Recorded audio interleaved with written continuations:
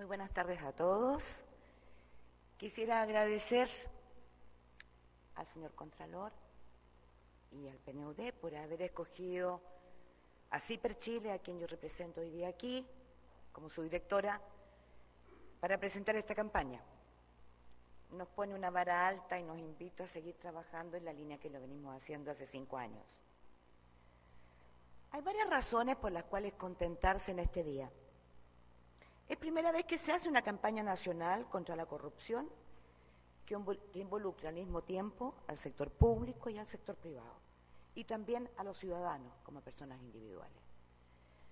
Nosotros estamos acostumbrados a pensar, y cuando yo escucho, con todo respeto, por favor, diciendo que Chile no hay corrupción, no dejo de estremecerme un poco y decir, qué horror, ¿qué sería si Chile fuera un país corrupto? Y porque estamos acostumbrados a escuchar de que combatimos la corrupción y no nos damos cuenta que siempre se habla de la mano que recibe.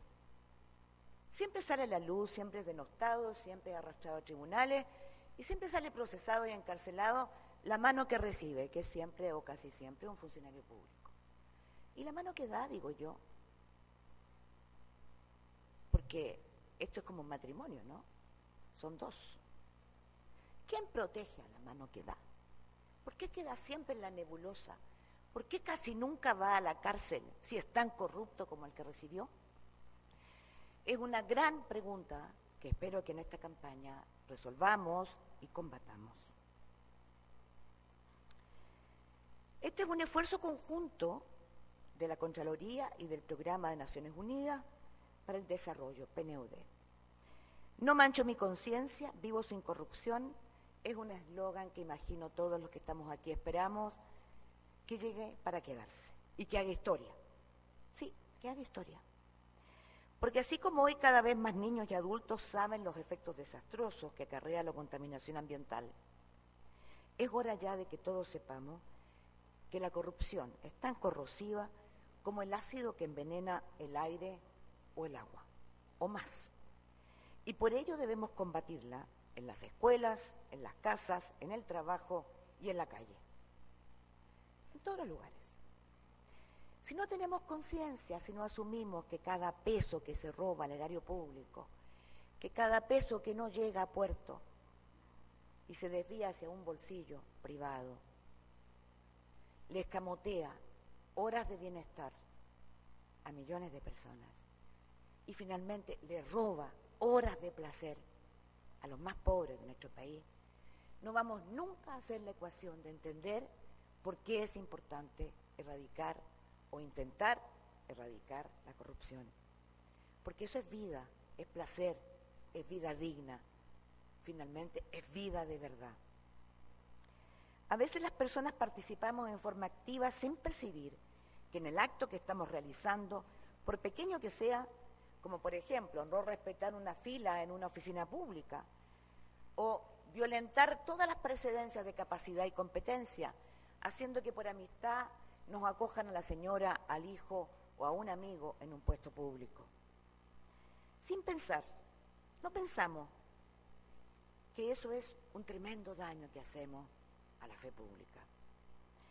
Y ni que hablar de esta percepción generalizada en ciertos estratos de nuestro país, que eludir el pago de impuestos, con la artimaña que sea, no es un acto ilícito. No son menos recursos para, las políticas públicas. No, es una astucia. Soy un pillo. Como dirían los jóvenes, eres bacán. La iniciativa contra la corrupción se gestó en marzo de este año entre la Contraloría y el PNUD y participan 23 instituciones, públicas y privadas. El nombre del proyecto de autoevaluación participativa y representativa de implementación de la Convención de Naciones Unidas contra la Corrupción, UNCAC, es bien difícil de recordar y yo creo que es mejor que nos quedemos con no mancho mi conciencia, vivo sin corrupción, que me interpela, que me hace sentido. Porque lo otro va a quedar como letra muerta, como tantas otras iniciativas que hemos visto florecer a lo largo de estos años tantos años. Iniciamos este llamamiento en un momento que por lo menos para CIPER, a quien yo represento y que yo comparto absolutamente, es un momento crítico y de inflexión en términos de corrupción para este país. Si el año 2011 la ciudadanía se estremeció con el daño millonario al patrimonio de muchos y a la fe pública, provocado por las repactaciones unilaterales de la Polar, del cual todavía no sabemos nada qué está pasando, está marcado este año 2012, sin duda, por las revelaciones que permiten afirmar, las revelaciones que surgen de una investigación del Ministerio Público, que durante muchos años y ante la indolencia de todos los entes públicos responsables de resguardar la calidad de la educación, se vendieron acreditaciones a universidades e institutos privados. Y lo digo sin temor, señor fiscal, a que me lleven presa, porque sé que lo puedo respaldar. Hay que destacar un nexo del que no todos tienen conciencia. La acreditación era la llave que le permitía a muchas instituciones de educación superior precarias, malas y de verdad negocios totales, recibir una inyección de recursos a través del crédito con aval del Estado CAE que garantizaba en muchos casos su sobrevivencia. Lo grave es que todo este proceso de actuación de redes ilícitas que propiciaron la educación como un negocio sin control, no solo dañó la fe pública, sino a miles y miles de familias que hoy día están en la indefección total. Yo quiero imaginarme la Pascua de esas familias. Aquellas que han invertido todos sus ahorros, todos sus sacrificios, han quedado endeudadas por años de años. Y hoy día ven echados a la basura aquel sueño de un título profesional para salir de la pobreza, para cambiar el sino de la vida, para acceder al bienestar. ¿Cómo pudimos jugar con ello? Lo dejamos en la indefección. Hoy día todos dicen estaba viciado, no el sistema, algunos. No, señores, el, el sistema está viciado y lo permitimos todos. Todos, incluyendo nosotros, los periodistas. Si el sistema público, las empresas que participan hoy del negocio de la educación y los propios ciudadanos afectados hubieran estado alertas, imbuidos de lo que busca precisamente esta campaña, crear conciencia y sepultar esa cultura espantosa del silencio cómplice, quizás otra historia estaríamos viviendo. Y aquí, perdonen la autorreferencia porque represento a CIPER, nosotros no podemos aún entender que habiendo iniciado las revelaciones de las ventas de acreditaciones en agosto del 2011. Habiendo publicado el segundo día de febrero cómo Luis Eugenio Díaz tenía contratos con universidades para vender acreditaciones, aún la autoridad, la autoridad eficiente, la que manda a parar el escándalo y el circo, no actúe. Recién ahora el Ministerio Público ha tenido que hacer su labor. Esperamos que esta campaña por la corrupción, por lo mismo que he dicho anteriormente, sea el primer eslabón que empuje y que llene uno de los vacíos más dañinos al erario público, a la fe pública, aquello que llaman cultura ciudadana. Son esos vacíos legales que impiden, como en el caso de la Polar y de la venta de acreditaciones, una oportuna y exhaustiva fiscalización y la efectiva sanción a los responsables. A mí me gusta lo que hace la Contraloría, pero yo quisiera que tuviera más facultades. Yo quisiera que cuando ocurre, y no solamente yo como persona, todos, que no puede ser que haya pasado más de un año y no sepamos qué pasa con el patrimonio de los ejecutivos de la Polar que participaron. Que no se mande parar en este escándalo de la educación y se diga ya. No se mueve ni un fondo más hasta que no se haga una auditoría completa porque aquí hay muchos millones del Estado.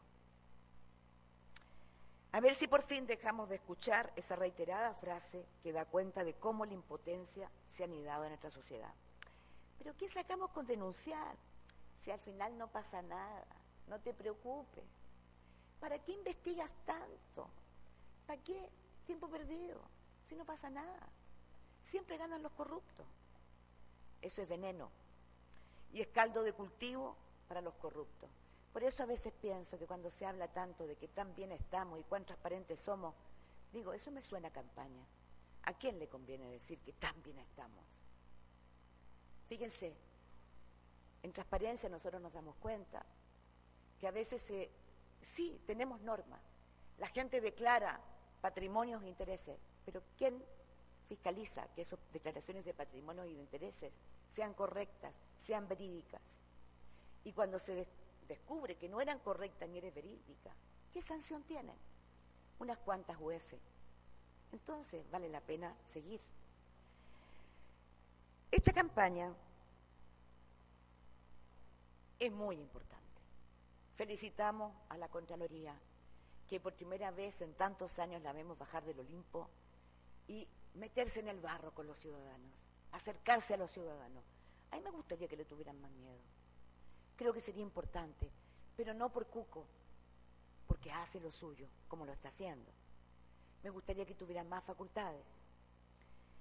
Nosotros quisiéramos expresar aquí un deseo. Quisiéramos que esta campaña no signifique la adquisición por parte de empresas privadas y públicas de un sello de garantía para seguir haciendo lo mismo. Esto es como la responsabilidad social o el sello verde. No, sí, yo soy, yo cumplo con las normas, pero finalmente todo sigue igual. Nos gustaría que de verdad esta consigna de no mancho mi conciencia, vivo sin corrupción, sea de verdad parte de un esfuerzo de todos nosotros en nuestra vida diaria, en nuestros espacios de trabajo. Porque de los ciudadanos finalmente depende gran parte de que esta campaña se instale en nuestra cultura. Y para eso se requiere que los niños en los colegios sientan orgullo de decir, no mancho mi conciencia, vivo sin corrupción. Que sus padres sientan orgullo de que un hijo le diga, no papá, no hagas eso. Para eso se requiere que las redes sociales asuman su responsabilidad entre ellas la de no denunciar sin fundamento, la de no convertirse en canales por donde destila basura sin ningún aval. De esto depende también de que se creen las vías adecuadas para acoger y canalizar la investigación de comportamientos abusivos ilícitos. Fundamentalmente de eso.